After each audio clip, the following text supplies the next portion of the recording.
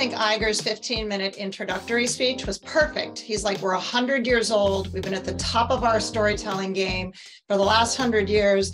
As an aside, I would say a lot of that is thanks to him because he bought Marvel, he bought Star Wars, and he bought Pixar. Otherwise, Disney might not still be at the top of the storytelling game. But, and he just said he's going to add 17,000 jobs and spend $17 billion in Florida, which is new jobs.